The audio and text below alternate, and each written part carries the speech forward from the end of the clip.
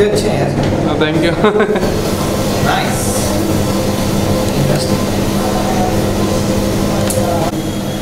Sir आपकी movie आ रही है beyond the light beyond the cloud क्या कुछ कहना चाहोगे? फ़ैशन शो पे फ़ैशन फ़िल्म अच्छा वो तो ऑलरेडी आ गई है। आपने बोला आ रही है बोला अब ये कौन सा करते हैं। आ गई है।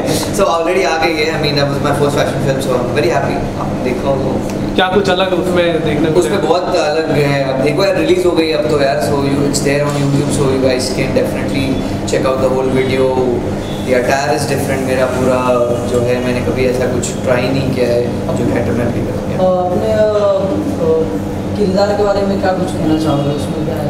कुछ नहीं है डेविल टाइप का किरदार है जो मैंने प्ले किया है। सो यस वो अब देखो ना मैं वही बोल रहा हूँ देखो हाँ। आप लोग एंजॉय यस खतरों के खिलाड़ी में क्या कुछ कहना चाहोगे? कोई आपका फ्रेंड है वहाँ पे जिसे आप सपोर्ट कर रहे हो? फ्रेंड फ्रेंड एज सच तो नहीं बट मैं काफ़ी लोगों को जानता हूँ उसमें। सो वेरी हैप्पी जो लाइनअप है बहुत अच्छा है बहुत तगड़े लोगों का लाइनअप है। इस बार स्टंट्स भी बहुत अलग अलग इंटरेस्टिंग स्टंट्स है और टफ है। सो एंड बहुत सब अच्छा परफॉर्म कर रहे हैं। So wish them all the best क्योंकि ऑलरेडी कर दिया उन्होंने। आपको क्या लगता है कौन जीतेगा? मुझे क्या लगता है? मुझे लगता है कि तुषार टफ कंटेंडर है मोहित भाई है टफ कंटेंडर है फैसू टफ है जन्नत भी काफ़ी टफ है। तो नाम यार हाँ, हाँ, काफ़ी लोग हाँ।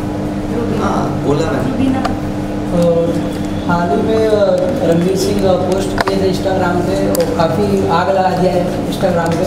तो क्या कुछ कहना चाहोगे उनसे पूछे यार उन्होंने आग लगाई तो मैं क्या करूँ? लोग ट्रोल भी कर रहे हैं क- क- कपड़ा भी डोनेट कर रहे हैं।